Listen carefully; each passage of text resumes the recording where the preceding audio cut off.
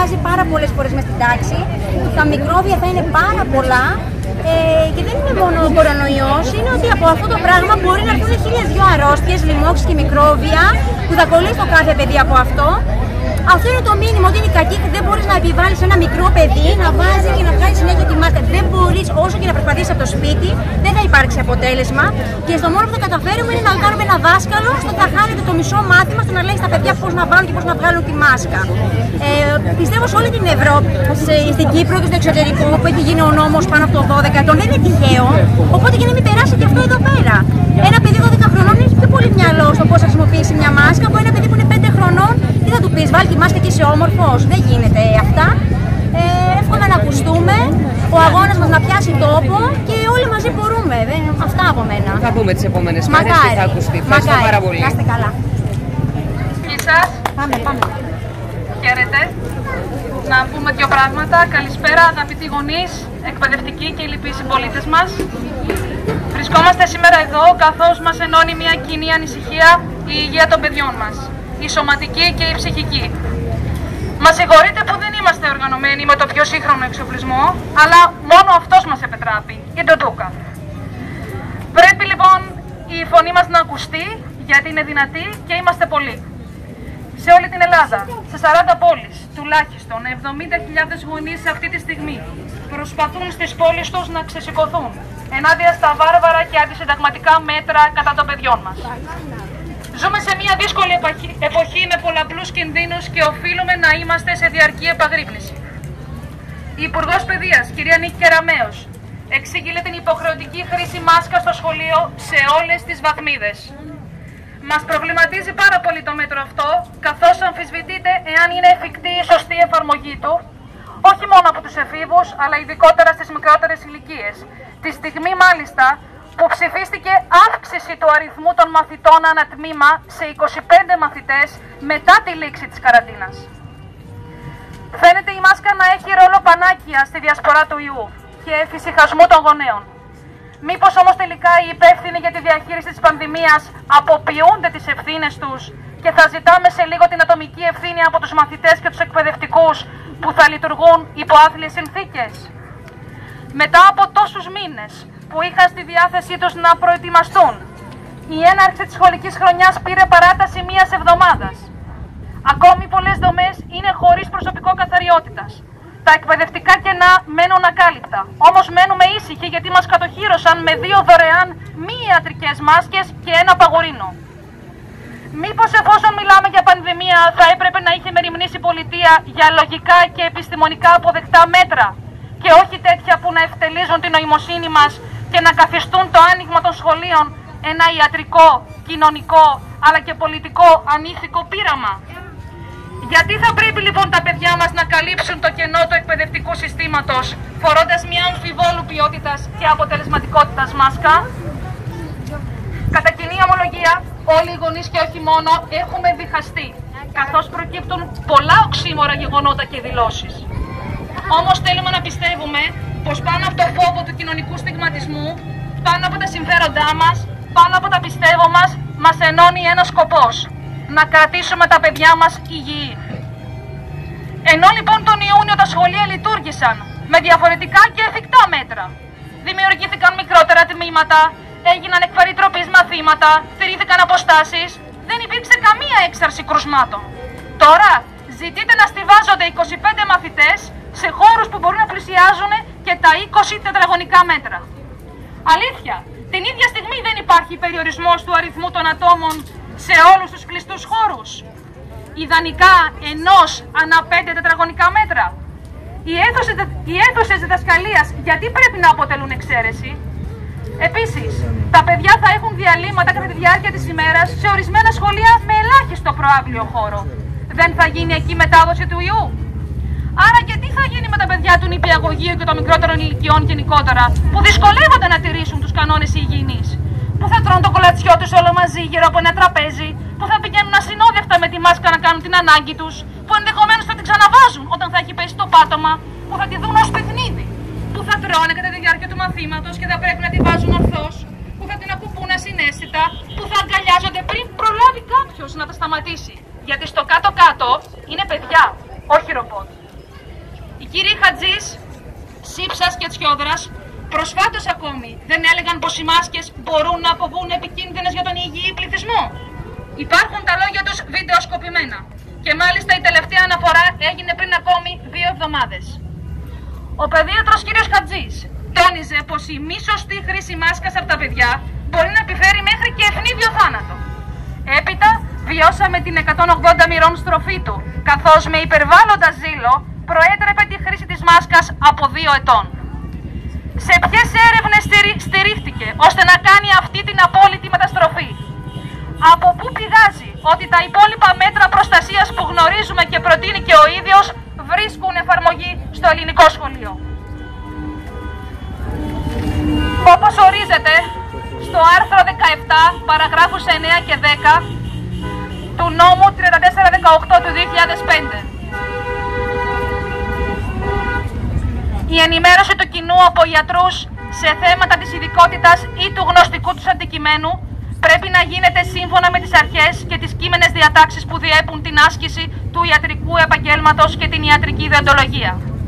Η ενημέρωση πρέπει να στηρίζεται αποκλειστικά σε στοιχεία απόλυτα τεκμηριωμένα και διεθνώς παραδεδειγμένα.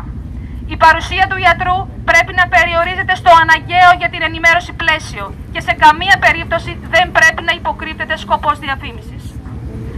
Δεύτερον, δεν επιτρέπεται η διαμέσω μαζικής ενημέρωσης έκφραση απόψεων που μπορούν να προκαλέσουν σύγχυση ή παραπλάνηση του κοινού για θέματα υγείας.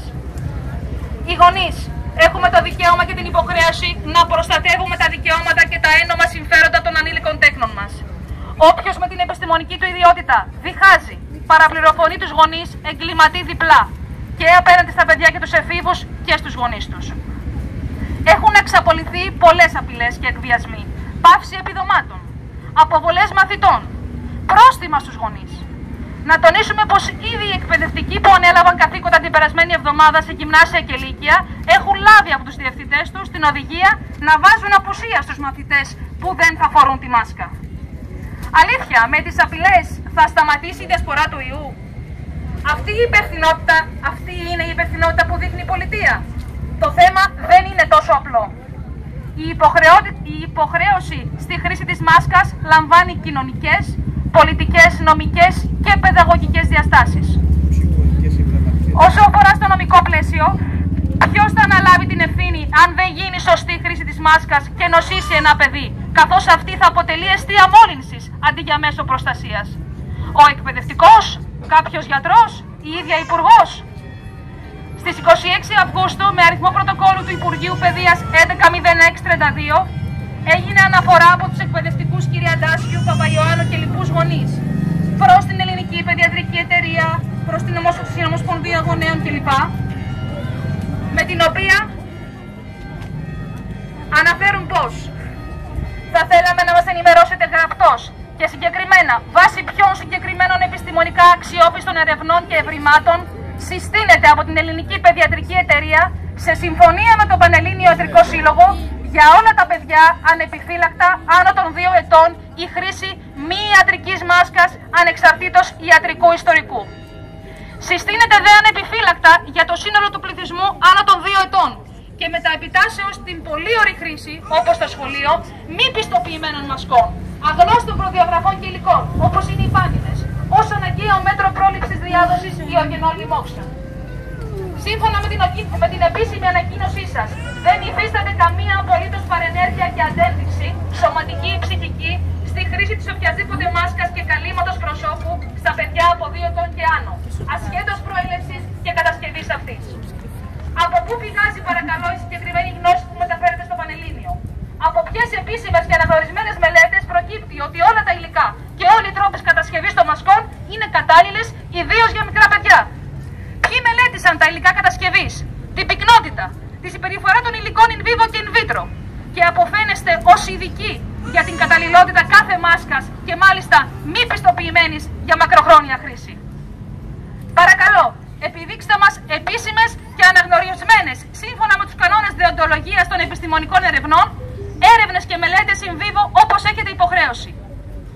Η όποια δε δημόσια σύσταση σε ένα ολόκληρο πληθυσμό ανηλίκων και γονέων εφαρμογής μη ιατροτεχνολογικών προϊόντων χωρίς ακριβή και σαφή πιστοποίηση της λειτουργίας τους είναι πράξη απαράδεκτη και επιλήψιμη.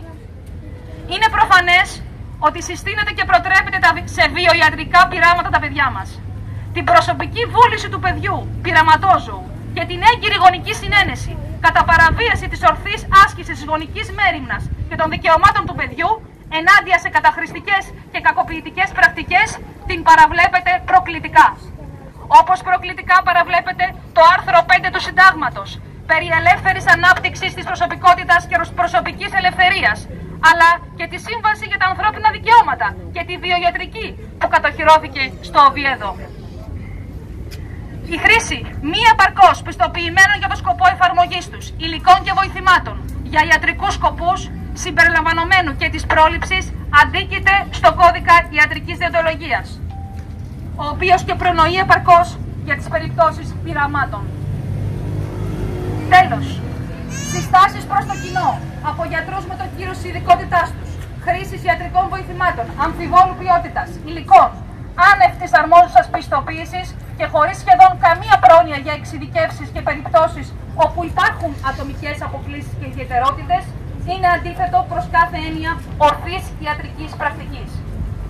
Εμείς στο σημείο αυτό θα προσθέσουμε ότι εκτός από τις περιπτώσεις πολύ σοβαρής ασθένειας, σοβαρής νευρολογικής διαταραχής και κάποιων ατόμων με ειδικές ανάγκες, δεν έχει προνοήσει κυβερνητική απόφαση για τα παιδιά με αισθητηριακές ευαισθησίες, με μαθησιακές δυσκολίες, που πολλές φορές μένουν αδιάγνωστες για πολλούς μήνες έως και χρόνο κατά περίπτωση, έως ότου γιατί αυτός είναι ο χρόνος αναμονής για να γίνει αξιολόγηση στα κεσί.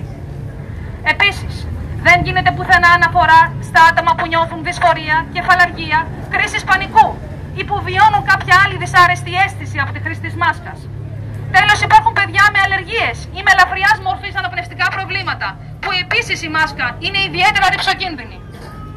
Είναι ανήκουστο στα ιατρικά χρονικά να μην υπάρχει ουδέμια δέουσα επιμέλεια για ειδικές περιπτώσεις ατόμων με εξειδικευμένο ιατρικό ιστορικό. Είναι πρωτοφανής ιατρικός σκοπογεννητισμός ο ισχυρισμός ότι δεν υπάρχει καμία απολύτως παρενέργεια για ιατρικό βοήθημα ασχέτως σύστασης, χρόνου χρήσης, τρόπου χρήσης και οργανισμού. Εξηγήστε μας παρακαλώ για ποιο λόγο οι πιστοποιημένες ιατρικές μάσκες που κυκλοφορούν στην αγορά αναγράφουν ξεκάθαρα στη συσκευασία τους ότι δεν προσφέρουν την από εσάς αναφερόμενη αντιοική προστασία. Άραγε υπερτερούν οι πάνινες των ιατρικών. Στο πολυσέλιδο εξειδικευμένο εγχειρίδιο Συμβουλές για τη χρήση των μασκών από παιδιά στα πλαίσια του COVID, που μπορείτε να βρείτε στον επίσημο ιστότοπο του Παγκόσμιου Οργανισμού Υγείας, με ημερομηνία επικαιροποίησης 21 Αυγούστου, ο Παγκόσμιος Οργανισμός σε συνεργασία με διάφορες οργανώσεις όπως η πρόληψη και έλεγχος των μολύσεων, η Ομάδα Αναπτυξιακής Καθοδήγησης και ειδικούς της UNICEF, αλλά και η Διεθνής Παιδιατρική Εταιρεία, αναφέρει ότι τα παιδιά χωρίζονται σε τρεις ηλικιακές ομάδες. Πρώτα είναι κάτω των 5 ετών. Δεύτερη ομάδα 6 έως 11 και τρίτη ομάδα άνω των 12 με συγκεκριμένες συστάσεις και πρόνοιες αναηλικιακή ομάδα. Χαρακτηριστικά για την ηλικιακή ομάδα 6 έως 11 χρησιμοποιείται η φράση A risk-based approach should be applied. Εισάγεται δηλαδή η έννοια της προσέγγισης βάση επικινδυνότητας. Δηλαδή αναγνωρίζονται οι παρενέργειες της μάσκας και άρα είναι αναγκαίο να εξισορροπούνται και να εξετάζονται τα ωφέλη της συγκριτικά με τις ζημίες. Παράλληλα, οι οδηγίες του ΕΟΔΗ αναφέρουν πως η μάσκα δεν πρέπει να χρησιμοποιείται από άτομα που έχουν προβλήματα με το αναπνευστικό σύστημα ή δεν μπορούν να την αφαιρέσουν μόνοι τους χωρίς βοήθεια. Η Ελληνική Παιδιατρική Εταιρεία ισχυρίζεται ότι δεν υπάρχει κανένας απολύτως κίνδυνος για κανένα παιδί και σε καμία περίπτωση. Ποιες γνώσεις έχετε ως Ελληνική Παιδιατρική Εταιρεία και ως Πανελλήνιος Ιατρικός Σύλλογος που υιοθετείτε ανεπιφύλακτα το δελτίο τύπου αυτό, ποιες επίσημες και έγκαιρες μελέτες που δεν γνωρίζουν στον Παγκόσμιο Οργανισμό και διαφοροποιήστε τόσο κατάφορα; Ο Πανελλήνιος Ιατρικός Σύλλογος άλλωστε εκπροσωπεί επίσημα τη χώρα μας στον Παγκόσμιο Οργανισμό Υγείας. Άρα μας παραπληροφορεί ο Παγκόσμιος Οργανισμός Υγείας που χρησιμοποιεί προς τεκμηρίωση 62 επίσημες αναφορές. Η Διεθνής Παιδιατρική Εταιρεία ή εσείς. Για ποιο λόγο αγνοήθηκαν τόσο κατάφορα οι οδηγίες του Παγκόσμιου Οργανισμού Υγείας για τα παιδιά και τις μάσκες που αναφέρουν ότι δεν μπορούν να χρησιμοποιηθούν κάτω των 12 ετών χωρίς επικινδυνότητα; Πάμε τώρα να πούμε για τα παιδιά άνω των 12 ετών. Θεωρητικά, τα παιδιά του γυμνασίου και του λυκείου έχουν στατιστικά περισσότερες πιθανότητες να τη χρησιμοποιήσουν σωστά. Ας μιλήσουμε όμως λίγο ειλικρινά. Πόσοι από εμάς κάνουμε τη σωστή χρήση της, θα εξαιρέσω το ιατρονοσηλευτικό προσωπικό που είναι αρκετά εξοικειωμένο. Φτάνοντας στην έξοδο του σούπερ μάρκετ μετά από 10-15 λεπτά παραμονής σε αυτό, τη βγάζουμε εναγωνίως. Την πετάμε στη τσάντα και την ξαναφοράμε στην είσοδο του επόμενου καταστήματος για να αποφύγουμε το πρόστιμο. Και όταν τη φοράμε, η μύτη είναι καλυμμένη όπως θα έπρεπε να είναι. Για πόσα λεπτά άραγε αντέχουμε να τη χρησιμοποιήσουμε σωστά, εφαρμόζοντάς την γύρω από το στόμα και τη μύτη, σε σύντομο χρονικό διάστημα που ποικίλει με το αν καπνίζουμε, την ηλικία, τα αναπνευστικά και άλλα χρόνια καρδιακά, καρδιακά προβλήματα που μπορεί να έχουμε, έχει κατέβει στο πουλιούν. Εννοείται πιάνοντά την από το μπροστινό μέρο. Δεν θα κάνουν το ίδιο τα μεγαλύτερα παιδιά την ώρα του μαθήματος. Θα προσέρχονται στην τάξη με τη μάσκα για να μην πάρουν την απουσία και στη συνέχεια θα την κατεβάζουν. Ανάλογα πιθανόν δεν θα αντιδράσει και ο εκπαιδευτικός, καθώς είναι υποχρεωμένος να μιλάει να εξηγεί το μάθημα για μεγάλα χρονικά διαστήματα. Η ίδια Υπουργός, όταν χρειάστηκε να μιλήσει για 15 λεπτά στη συνέντευξη τρύπου, μετρήσατε πόσες φορές έπιασε τη μάσκα από μπροστά και την τράβηξε; Προφανώς ένιωσε δυσφορία. Πώς περιμένει και μάλιστα υποχρεώνει τα παιδιά μας να πράξουν διαφορετικά για πολύ μεγαλύτερο χρονικό διάστημα; Να σας θυμίσω ότι στο Δημοτικό υπάρχει διάλειμμα ανά δύο διδακτικές ώρες. Απαιτούμε λοιπόν να μας προσκομίσουν τόσο η Ελληνική Παιδιατρική Εταιρεία, όσο και ο Πανελλήνιος Ιατρικός Σύλλογος, αντίγραφα των ερευνών και μελετών που αυτοί χρησιμοποίησαν για να ενημερώσουν επίσημα τις γονεί, τους γονείς της χώρας και να καθοδηγήσουν τις επίσημες αρχές στις όποιες αποφάσεις έλαβαν και οι οποίες οφείλουν να έχουν τις απαραίτητες προϋποθέσεις εγκυρότητας και αξιοπιστίας. Προσεχή! Ο πρόεδρος της εταιρείας περιορισμένης ευθύνης αναφέρει πως η βίαιη τροποποίηση της συμπεριφορά των παιδιών και βία από την επικρατούσα δυτική σε συμπεριφορές από Ανατολής αποτελεί επιστημονικά πρωτοφανές μαζικό ψυχιατρικό πείραμα. Η τροποποίηση, η τροποποίηση συμπεριφοράς στον άνθρωπο αποτελεί ιατρική παρέμβαση και ως εκ τούτου ιατρική πράξη. Πολύ περισσότερο όφιλε η εταιρεία περιορισμένης ευθύνης να είναι προσεκτική στο ότι η παρέμβαση γίνεται βιαίως, υπό την απειλή κυρώσεων, χωρίς έγκυρη συνένεση του υποκειμένου και με απλή και αόριστη πιθανολόγηση της όποιας ενδεχόμενης προστασίας παρέχει το εν λόγω μη πιστοποιημένο ιατρικό βοήθημα. Επίσης, το ότι ζητήθηκε επίσημα η γνώμη της παιδιατρικής εταιρείας δεν σημαίνει ότι δεν έχουν λόγο στο θέμα και άλλες ειδικότητες, καρδιολόγοι, πνευμονολόγοι. Γι' αυτό το λόγο, άλλωστε, έχει ζητηθεί επισήμως στον Πανελλήνιο Ιατρικό Σύλλογο με την 6493-4 που είναι σε γνώση σας, να συγκληθεί έκτακτη γενική συνέλευση όλων των μελών και όλων των ειδικοτήτων και όχι απλά να γίνονται δηλώσεις προέδρων ή άλλων διοικητικών μελών και ιατρών στα μέσα μαζικής ενημέρωσης, αναστατώνοντας την κοινή γνώμη σύμφωνα με τις εκάστοτε προσωπικές απόψεις ή και σκοπιμότητες. Είναι βαθιά ανήθικο ότι όλοι θέλετε να αποφασίσετε εσείς για τα δικά μας παιδιά, να επιβάλλετε τη δική σας μη στοιχειοθετημένη άποψη. Τα παιδιά δεν έχουν δικαίωμα τα ίδια στο σώμα τους και την αναπνοή τους. Δεν έχουν δικαίωμα να εκφράσουν το καθένα την άποψή του. Δεν προστατεύονται τα ανθρώπινα δικαιώματα και τα δικαιώματα του παιδιού στη χώρα μας. Νομίζετε ότι θα μας υποχρεώσει κανείς να εγκληματίσουμε ως κηδεμόνες έναντι το παιδιό μας ή να τους προκαλέσουμε βλάβη εν γνώση μας; Γιατί λοιπόν δεν μας εγγυάστε εγγράφος, αναλαμβάνοντας την πλήρη νομική ευθύνη των αποφάσεών σας ότι η μακροχρόνια χρήση της μάσκας από τα παιδιά δεν θα επηρεάσει αρνητικά την υγεία τους. Η γνώμη κάθε παιδιού και κάθε ατόμου οφείλει να είναι σεβαστή. Σας τονίζουμε, τους γονείς της χώρας δεν τους ενδιαφέρουν οι προσωπικές απόψεις και συγκρούσεις καθηκόντων και συμφερόντων ιατρών ή άλλων. Έχουν η ίδια άποψη και την νόμιμη δικαιοδοσία να επιλέγουν ζητήματα που αφορούν την υγεία και την ανατροφή των τέκνων τους. Σας δηλώνουμε ότι οι γονείς έχουν δει κάθε δικαίωμα και υποχρέωση να προστατεύουμε τα δικαιώματα και τα ένομα συμφέροντα των ανήλικων τέκνων μας και να προσκομίζουμε γνωστοποιήσεις σύμφωνα με τις έκτακτες συνθήκες που μπορεί να παρουσιαστούν. Η χρήση του όποιου βοηθήματος, πολύ περισσότερο μη πιστοποιημένου, με σαφώς όμως ιατρικό σκοπό και λόγο χρήσης, είναι παρέμβαση στον ανθρώπινο οργανισμό. Άρα συνιστά ιατρική πράξη και βιοιατρική παρέμβαση. Βλέπε άρθρο 5 του Συντάγματος. Ω εκ τούτου, κάθε γονέας δίνεται να γνωστοποιήσει προς ιατρούς και σχολείο. Ότι δεν συνενώ ως γονέας και κηδεμόνα στη συμμετοχή του ανήλικου τέκνου μου στο βιοιατρικό μη θεραπευτικό πείραμα υποχρεωτικής χρήσης του ιατροτεχνολογικού προϊόντος ιατρική μάσκα ή μη πιστοποιημένης άλλου τύπου μάσκας σε συνδυασμό με την τροποποίηση της φυσιολογικής συμπεριφοράς του παιδιού μου από τρίτους μέσω της κοινωνικής αποστασιοποίησης κατά τη φίτησή του στο σχολείο.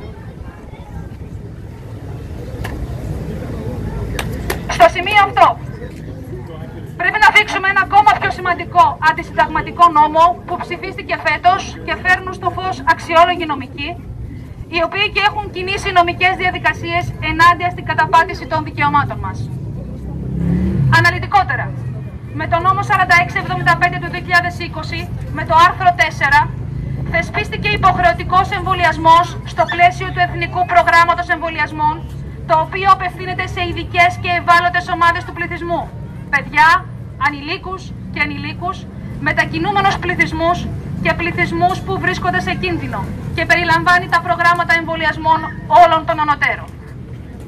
Επίσης, με τον νόμο 4682 του 2020 κυρώθηκε από 25 Φεβρουαρίου παρακαλώ πράξη νομοθετικού περιεχομένου κατεπήγοντα μέτρα αποφυγής και περιορισμού της διάδοσης κορονοϊού η οποία 16 μέρες πριν κηρυχθεί επισήμως η πανδημία από τον Παγκόσμιο Οργανισμό Υγείας με το πρώτο άρθρο αποφασίζει ως υποχρεωτικά μεταξύ άλλων και τα εξής μέτρα πρόληψης υγειονομικής παρακολούθησης καθώς και περιορισμού της διάδοσης της νόσου.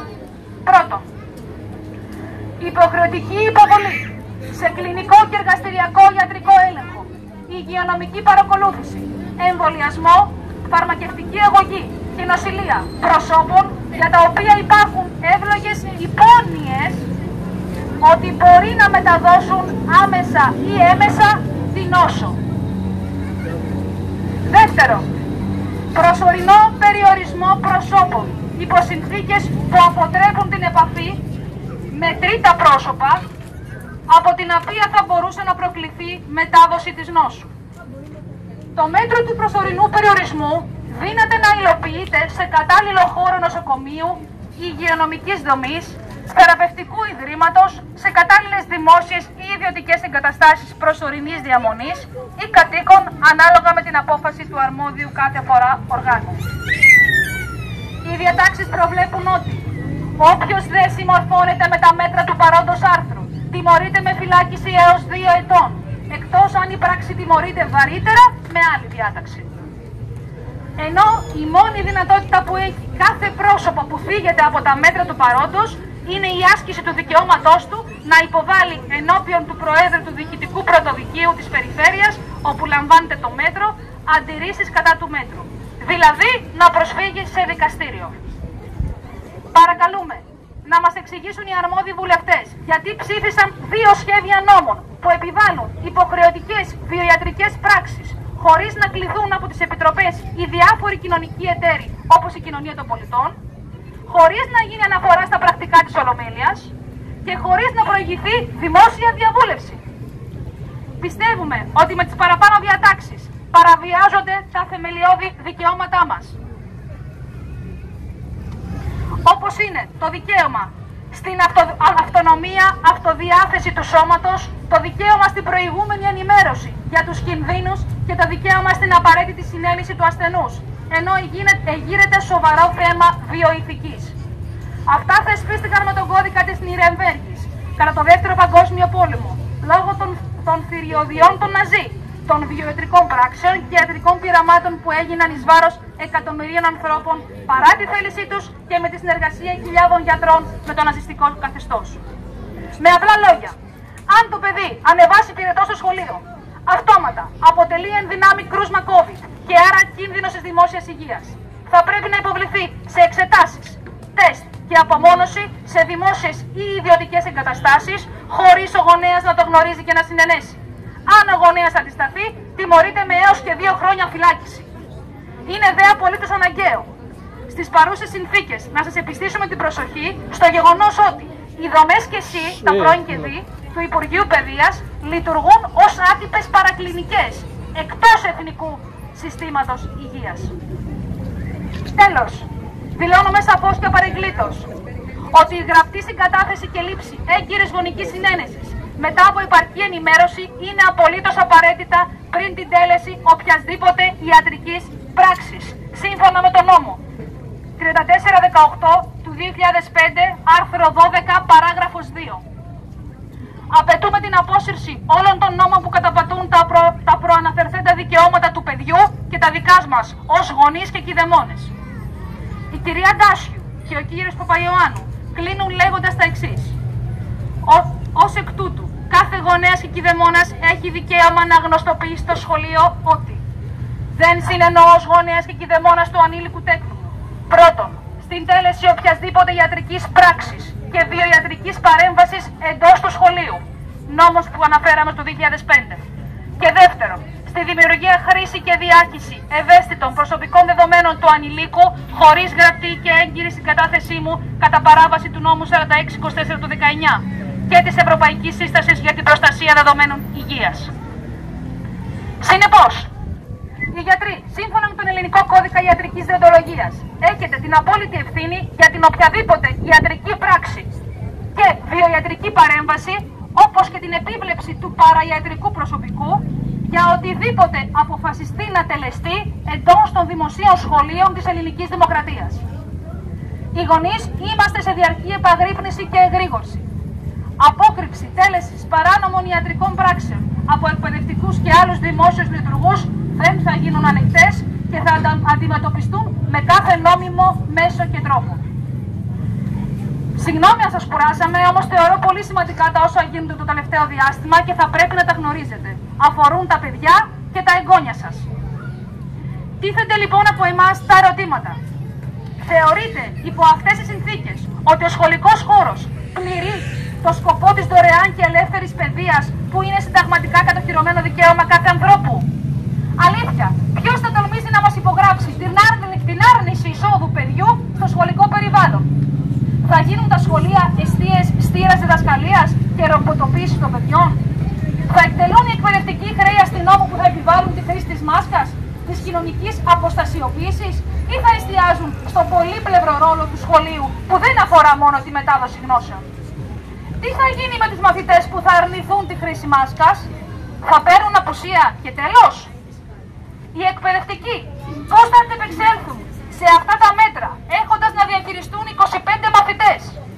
Πώς σε τάξεις, όπως η πρώτη δημοτικού, θα γίνει η διδασκαλία όταν θα πρέπει να δοθεί έμφαση στην άρθρωση, στο συλλαβισμό, στη σωστή διαχείριση του μολυβιού και σε άλλες τέτοιες δεξιότητες; Ζητάμε την προαιρετική χρήση μάσκας με ευθύνη του γονέα και κηδεμόνα.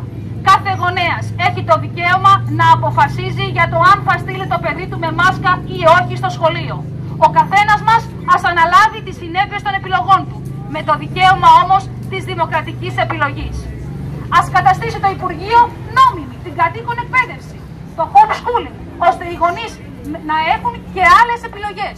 Αυτό σημαίνει δημοκρατία πρόσληψη επαρκούς καθαριστικού προσωπικού, παρουσία του σε όλη τη διάρκεια του σχολικού ωραρίου, παροχή εγκεκριμένων για τους σχολικούς χώρους καθαριστικών, όχι στην επιζήμια χρήση και αλόγιστη των αντισηπτικών. Τακτικές απολύμανσης στα σχολικά κτίρια, όπου είναι εφικτό να γίνεται ένα αλλάξο προαυλισμό για να αποφεύγονται οι πρακτικές κοινωνικής αποστασιοποίησης στα παιδιά. Μην ακουμπάτε ο ένας τον άλλον και μην ανταλλάξετε μολύβι και γόμα. Με αποτέλεσμα τα παιδιά μας να γίνουν αντικοινωνικά και να γίνουν φοβικά στο βωμό της δημόσιας υγείας και γεγονός που θα τα στιγματίσει για όλη τους τη ζωή. Να γίνει διαχωρισμός τμήματων. Λέμε όχι στο στίβαγμα 25 μαθητών σε μια σχολική αίθουσα, που είναι παράλογο το γεγονός ότι το ψήφισαν μετά την καραντίνα. Ιδάλλως, εν μέσω πανδημίας, τα σχολεία δεν θα έπρεπε να λειτουργήσουν, εφόσον τίθεται κίνδυνος της δημόσιας υγείας. Πρόσληψη επιπλέον εκπαιδευτικών ή εκπεριτροπή στη διδασκαλία ή μείωση των διδακτικών ωρών σε περίπτωση που η κυβέρνηση δεν θέλει να επενδύσει σε προσλήψεις, γιατί θα μας πούν δεν έχουμε χρήματα. Να μειωθεί η διδακτική ύλη σε περίπτωση που τηρηθούν τα παραπάνω. Μπορούμε να επικεντρωθούμε στα βασικά μαθήματα.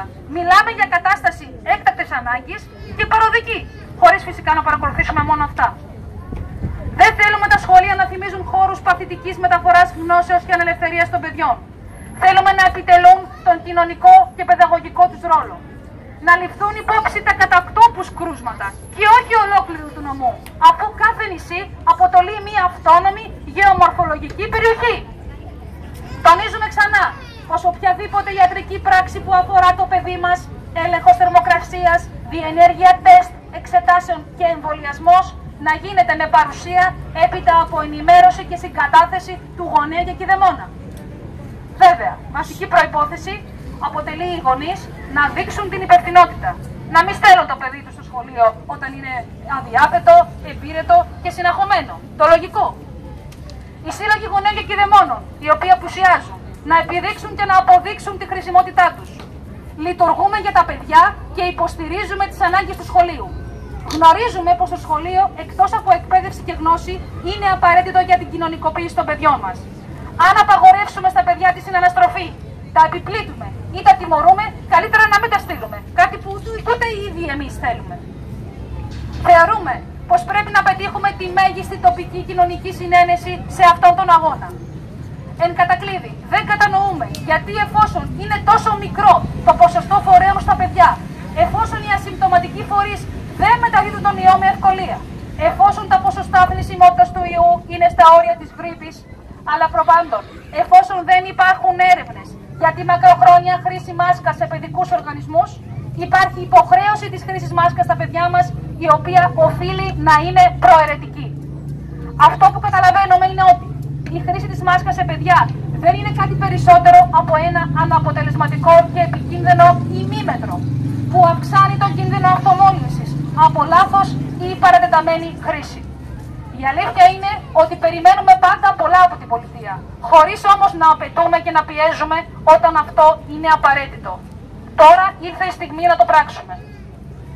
Προτείνουμε λοιπόν καθολική αποχή των μαθητών από την εκπαιδευτική διαδικασία έως ότου αρθούν τα μέτρα. Στην Κύπρο το κατάφεραν. Στη Σουηδία, την Ολλανδία, τη Ρωσία και την Νορβηγία η χρήση μάσκας δεν είναι υποχρεωτική στα σχολεία. Μπορούμε κι εμείς.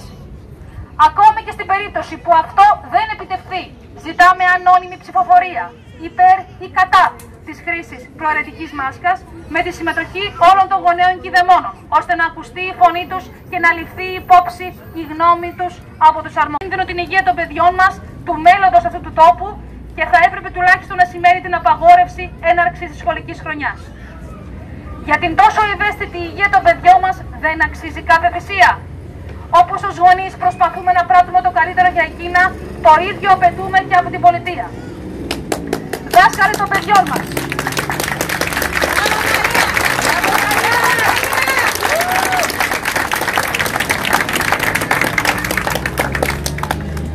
Δάσκαλοι των παιδιών μας, είστε παιδαγωγοί.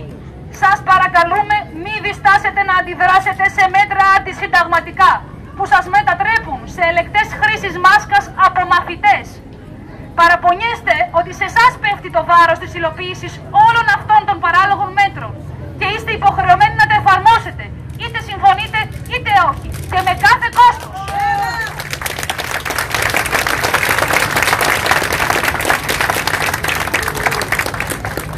Σας παρακαλούμε διατηρήστε τον πολύτιμο ρόλο σας. Και εμείς και οι μαθητές σας σας έχουμε εμπιστοσύνη. Θέλουμε να συνεχίσουμε να το κάνουμε. Όλοι μαζί οι γονείς και εκπαιδευτικοί, ενωμένοι, μπορούμε να τα καταφέρουμε. Πριν σας αποχαιρετήσω, θα ήθελα προσωπικά να σας ευχαριστήσω που αφήσατε το μπάνιο και τη βόλτα σας για να είστε εδώ. Για να βάλετε ένα λιθαράκι στην προστασία της υγείας των παιδιών μας. Όλες αυτές τις μέρες που συζητήσαμε με πολίτες και γονείς για να ενημερώσουμε για τη διαμαρτυρία μας αυτή, ακούγαμε συνεχώς την ίδια ίδια φράση. Ε, και τι θα πετύχετε με όλο αυτό. Δεν θα γίνει τίποτα και θα έχετε εκτεθεί ανεπανόρθωτα. Αποδεχτείτε το και μάθετε στα παιδιά σας ότι θα ζουν με αυτό. Λυπάμαι πολύ, αλλά ούτε εγώ, ούτε εσείς, ούτε οι γονείς που μπήκαμε στη διαδικασία να οργανώσουμε αυτή τη διαμαρτυρία χωρίς καμία υποστήριξη από κάποιο επίσημο φορέα θα το κάνουμε.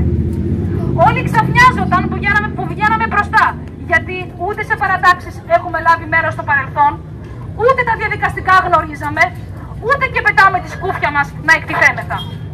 Μπήκαμε σε αυτή τη διαδικασία γιατί πρέπει να υπερασπιστούμε τα παιδιά μας. Εμείς και εσείς είμαστε η φωνή τους. Καλή δύναμη στον αγώνα μας. Ευχαριστούμε που μας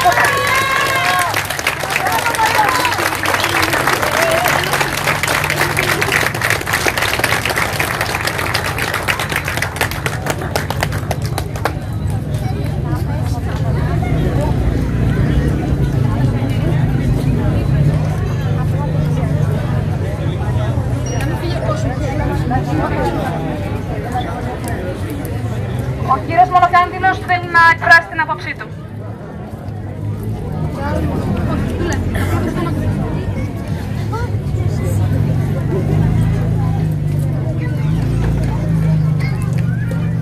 Εγώ θα σας μιλήσω με την ιδιότητά μου σαν γιατρός. Κοντά το στόμα σου, κοντά, κοντά. Ε, το, το θέμα του κορονοϊού και της μάσκας βέβαια και όλα αυτά τα μέτρα που λαμβάνουν το έχω ψάξει πάρα πολύ. Έχω ευαισθητοποιηθεί πολύ. Ε, ξέρω πέντε πράγματα παραπάνω σαν γιατρός και το έχω ψάξει πάρα πολύ. Ε, βρήκα πρόσφατα στο ίντερνετ ε, κάποια κίνηση που κάνανε οι γιατροί στη Γερμανία και το, το, το μετέφρασα εδώ πέρα κατά λέξη και σας το μεταφέρω. Συμπεράσματα που κατέληξαν 120 κορυφαίοι παγκοσμίως ειδικοί επιστήμονες, ιατρικής, επιδημιολόγοι και όλων των σχετικών επιστημών, ονόματα όπως ο Δόκτωρ Ιωάννης Ιωαννίδης στην Αμερική, ο Δόκτωρ Σουχάρη Χάχτη στη Γερμανία και πάρα πολλοί άλλοι γιατροί, είναι μεγάλος ο κατάλογος, 120. Γνωστοί καθηγητές πανεπιστημίων, όλων των ειδικοτήτων της ιατρικής. Υπογράφουν το παρακάτω, τα παρακάτω έξι συμπεράσματα. Τεκμηριωμένα επιστημονικός παρακαλώ. Όχι η επιστήμη σε εισαγωγικά που μας λασάρουν οι, οι, οι, οι γιατροί που έχουν, ε, έχουν καταπατήσει τον όρκο τους για άλλους σκοπούς και λένε άλλα τέλος. Πρώτον, πρώτον, ο COVID-19 είναι ως προς την επικινδυνότητά του συγκρίσιμος με τη συνηθισμένη γρήπη, ιός της ινφλουέζας. Δεύτερον, το lockdown με όλες τις καταστρεπτικές συνέπειες δεν ήταν απαραίτητο. Τρίτον, οι περισσότεροι θάνατοι από το COVID-19 δεν ήταν από τον COVID-19, αλλά με τον COVID-19, με τον COVID-19. Αυτά είναι στατιστικά δεδομένα, τα έχω ψάξει καλά. Τέταρτον, το πιο ευπαθές μέρος του πληθυσμού, οι ηλικιωμένοι με προϋπάρχουσες σοβαρές νόσους, θα μπορούσαν να είχαν προστατευτεί με τα ήδη υπάρχοντα προστατευτικά μέτρα, τα γνωστά. Πέμπτον, υποτίθεται ε, νοιάζονται πολύ πια για, την, ε, για τη ζωή των, των, των ηλικιωμένων. Ναι, οι παγκοσμιοποιητές. Πέμπτον, ναι, ναι, εμβολιασμός για ένα ιό που δεν αποτελεί σοβαρό κίνδυνο και ο οποίος μεταλλάσσεται, όπως ο ιός της απλής γρήπης, δεν είναι ούτε απαραίτητος, ούτε μπορεί να έχει σοβαρή επιτυχία. Αυτοί είναι οι σοβαροί επιστήμονες και τα ξέρω αυτά εγώ. Έκτον, είναι επιστήμονες που δεν χρηματίζονται. Μπράβο. Έκτον, έκτον και τελευταίο, η υποχρεωτική χρήση της μάσκας στερείται παντελώς επιστημονικής βάσης και του αντίον μπορεί να βλάψει σοβαρά πολλούς που έχουν προδιάθεση. Αυτή είναι η αλήθεια. Και όχι αυτά που μας πουλάνε στην τηλεόραση. Τα μούμου έψιλον, το έψιλον πάντα χρησιμοποιώ και λέω μέζα μαζικής εξαπάτησης, όχι ενημέρωσης. Προηγουμένως, προηγουμένως ε, η εκπαιδευτικός μας εδώ είπε για τα κράτη που δεν, ε, ε, που δεν δέχονται τη μάσκα. Είναι η Σουηδία, η Ολλανδία, η Νορβηγία, η Ρωσία. Οι μάσκες είναι, δεν είναι υποχρεωτικές. Είναι απλώς, ε, είναι μια, ε, όχι η Ρωσία είναι μας, ναι, δεν είναι υποχρεωτικές. Στην Πολωνία οι μάσκες δεν είναι υποχρεωτικές εκτός, εντός της σχολικής αίθουσας. Στην Αγγλία θα είναι υποχρεωμένοι να φορούν μάσκες προσώπου μόνο οι μαθητές της δευτεροβάθμιας εκπαίδευσης και μόνο σε κοινόχρηστους χώρους, όχι μέσα στην αίθουσα.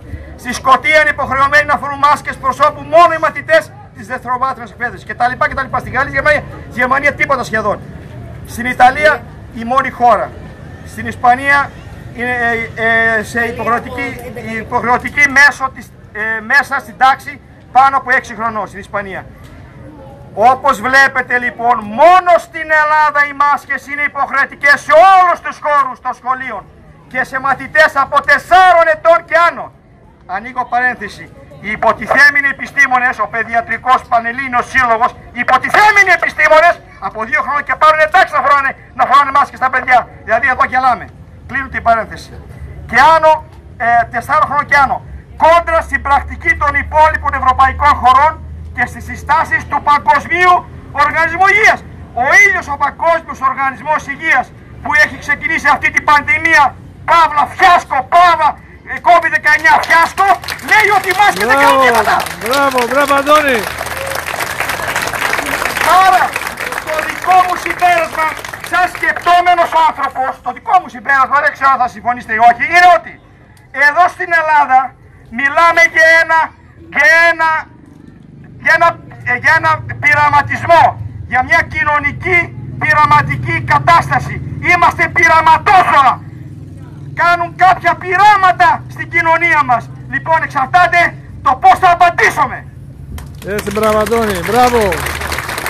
Και τελειώνω. Βρήκα εδώ στο, στο ίντερνετ, δηλαδή, δηλαδή δεν είναι τόσο γελί, είναι τόσο γελί, τόσο γελί. Ένα που λέγεται, ένα εδώ πέρα που λέγεται, τώρα τα μαθαίνω κι εγώ. Ινστιτούτο Βιοτε... Βιοιατρικής Τεχνολογίας INVIT Ινστιτούτο Βιοιατρικής Τεχνολογίας.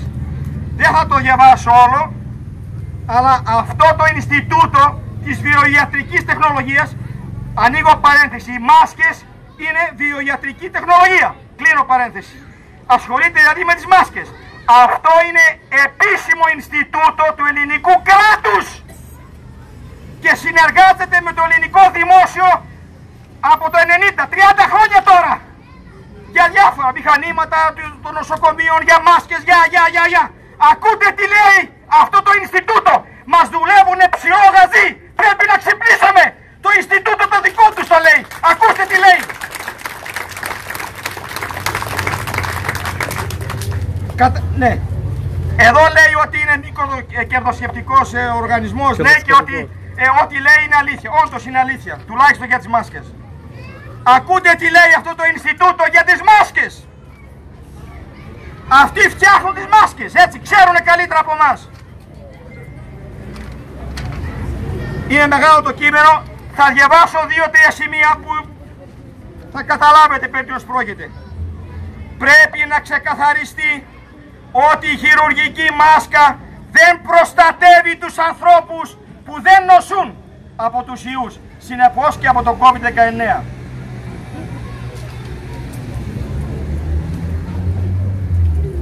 Ε, το μέγεθος των πόρων λέει πολλά ε, τεχνικά θέματα για τη μάσκα. Το μέγεθος των πόρων των χειρουργικών μασκών είναι, κυμαίνεται από 15 έως 50 μικρά, μικρά του μέτρου. Είναι πάρα πολύ μικρό, ε, έτσι, ε, είναι αυτό είναι εκατομμυριωστό του μέτρου. Από 10, 15 έως 50 μικρά του μέτρου είναι οι τρύπες, τα τρυπάκια των μασκών. 15 έως 50. Είναι αυτά είναι αυτοί που τα φτιάχνουν τις μάσκες παιδιά. από το γεγονός ότι συνεχίζει το ίδιο το, το, το Ινστιτούτο από το γεγονός ότι ο COVID-19 φέρεται να έχει μέγεθος 0,12 έως 0,16 μικρά. Η, η τρύπα της μάσκας, η τρύπα της μάσκας είναι 15 έως 50 μικρά. Το 0,1 που είναι ο COVID περνάει ή δεν περνάει μέσα από την τρύπα της μάσκας; Μας δουλεύουνε. Καταλαβαίνει κανείς εύκολα ότι η απλή χειρουργική μάσκα δεν μπορεί να είναι καμία, σε καμία περίπτωση αποτελεσματικός φραγμός έναντι του ιού αφού είναι σχεδόν 10 φορές μικρότερος ο ιός από τους σπόρους της μάσκας. Τι να πω, τι να πω. Οι υφιστάμενες μάσκες προσώπου δεν είναι γιατροτεχνολογικά προϊόντα και δεν πρέπει να διατίθεται ως τέτοια στην αγορά. Τώρα μιλάει για, τους, ε, για τις, ε, ναι, για τις πάνιδες. Το συνηθέστερο υλικό, άλλη ιστορία από εκεί. Η κατασκευή τους, τις πάνιδες, οι απλές, είναι από βαμβάκι και συνθετικό ύφασμα που παρασκευάζεται σε συνδυασμό βαμβακιού και πολυμερούς λέει και συνήθως χαρακτηρίζεται από επαναχρησιμοποιημένες ε, ίνες.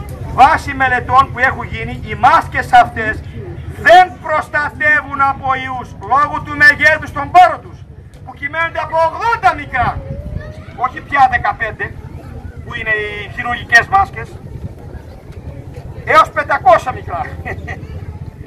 Ένα μέγεθος πολύ μεγαλύτερος από το μέγεθος των πόρων των χειρουργικών μασκών. Σύμφωνα με το παγκόσμιο, είναι πάρα πολλά, έχω επιλέξει μερικές ε, παραγράφους.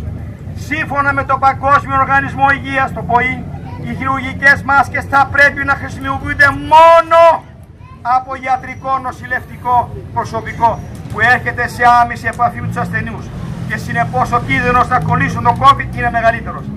Επιπρόσθετα ασθενείς και άνθρωποι που παρουσιάζουν συμπτώματα όπως πυρετό και δίχα θα πρέπει να φορούν μάσκες ούτως ώστε να προστατεύουν τους άλλους από τα σταγονίδια της βλαγόνου.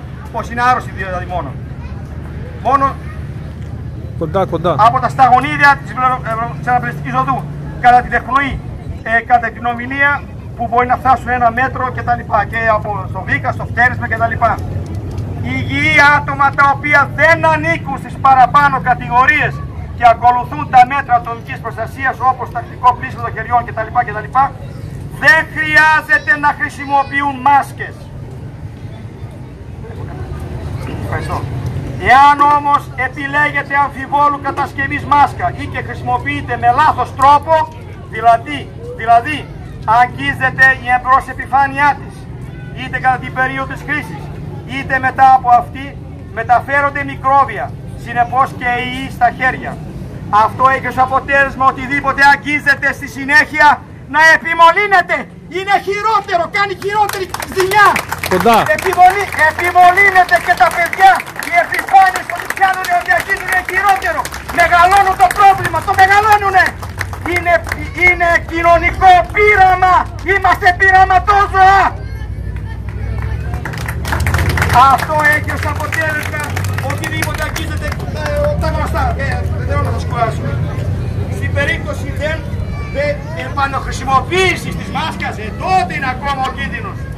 Τα παιδιά θα είναι... θα το Κοντά, πιάνουνε κοντά, τη μάσκα, κοντά. Θα την πιάνουν έτσι, θα τη βάζουν, θα την αποστηρώνουν όπως κάνουν στα νοσοκομεία δηλαδή και θα την προσέχουν. Δηλαδή είμαστε πειραματόζωοι, επαναλαμβάνω, πρέπει να ξυπνήσουμε.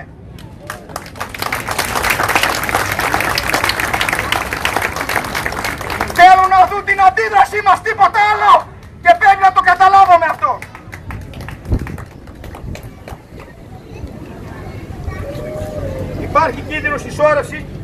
Υγρασίας στην εσωτερική επιφάνεια. Κάτι το, απο- το οποίο αποτελεί ευνοϊκό περιβάλλον για την επιβίωση και πολλαπλασιασμό των μικροβίων. Δηλαδή ακόμα χειρότερο. Όχι μόνο μολύνουν το περιβάλλον, τα χέρια και το περιβάλλον και τον εαυτό τους. Το φορτίο των ιών που παίρνουν μέσα τους των μικροβίων ακόμα και μεγαλύτερο. Για τον λόγο αυτό ο Παγκόσμιος Οργανισμός Υγείας, ο ΠΟΗ, αυτός που ξεκίνησε όλη την πανδημία, αυτοί, άντε να μην λέω, ξέρετε ποιοι είναι πίσω από το ΠΟΗ. Και όμως έχουν μια λίγη επιστημονική επιφάνεια. λίγη έχουν λίγο, λίγο, λίγη τσίπα σε σχέση με τους γιατρούς εδώ πέρα βγαίνουν στα κανάλια. Έχουν λίγο, έχει μείνει λίγη, λίγη, τι να. Ε, Κοντά. Έχει μείνει λίγη, πώς να το πούμε. Συνείδηση. Συνείδηση, ναι. Λοιπόν, για το λόγο αυτό ο Παγκόσμιος Οργανισμός Υγείας τονίζει ότι δεν πρέπει χρησιμοποιημένη μάσκα να απορρίπτεται με σωστό τρόπο, ε, πρέπει να απορρίπτεται με σωστό τρόπο και πάντα σε κλειστό κάδο. Να πλένονται πάντα επιμερώς στο χέρι κτλ. κτλ.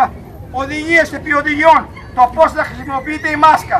Και αυτή τη μάσκα τώρα θα φορέσουν τα παιδάκια μας του Δημοτικού και τα λοιπά και τα λοιπά και τα λοιπά. Είμαστε ή δεν είμαστε πειραματόζωα, απαντήστε μου. Ευχαριστώ. Πρέπει όμως, πρέπει όμως να αντιδράσουμε. Ή δεν θα πάνε στο σχολείο τα παιδιά ή θα πάνε χωρίς μάσκες. Ένα ή το ένα ή το άλλο. Τελεία. Μπράβο, Αντώνη. Έτσι.